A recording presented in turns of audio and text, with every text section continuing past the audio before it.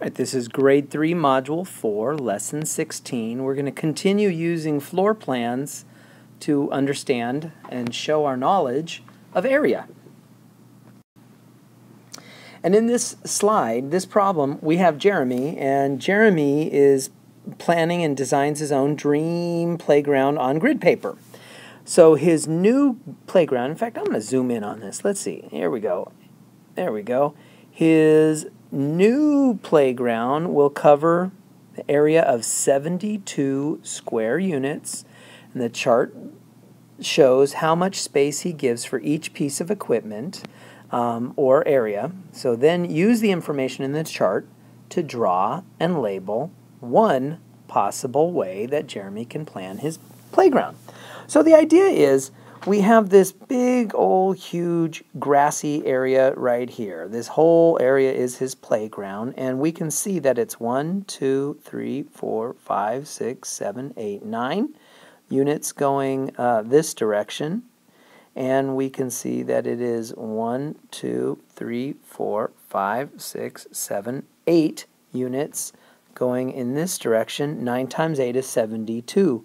So that's where they get the fact that it is 72 square units. So this whole area is 72 square units. And now what we're going to do is we're going to place each of these four items into our playground area. So man, uh, you know, if, if ever, all your students, teachers, by the way, if all your students turn in the same uh, floor plan or the same plan, that means they cheated and they copied off of each other because there is probably literally an infinite number of solutions here. Uh, so please encourage them to be creative and solve this. We don't want them all to turn in the same project.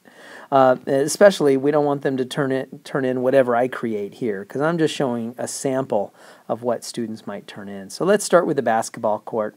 It's 10 square units, and uh, oh, let's just put it up here. Here's my basketball, and I can see that it's 10 units. One, because I can count one, two, three, four, five, six, seven, eight, nine, ten.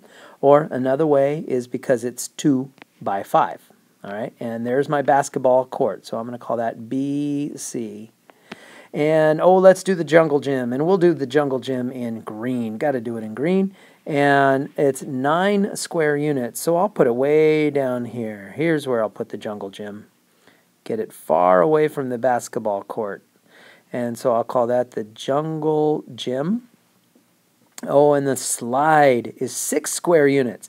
Um, and oh, let's make that a two by three. So let's do this right there. There's my two by three and I'll label that with an S for slide.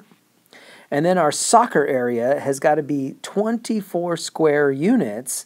And uh, let's do that, I don't know, let's do it in, uh, I don't know, red. We'll do it, no, we already have a red. Let's do it in purple.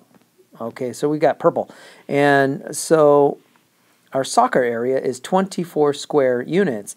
So there's a couple of choices we could do. We could do 3 by 8 because that's 24. Or we could do 4 by 6 because that's 24. So we have some choices. Um, I'll do a 4 by 6. Why not? So I will line it up right here. 1, 2, 3, 4. There's my 4. And then 1, 2, 3, 4, 5, 6. So there is my 6.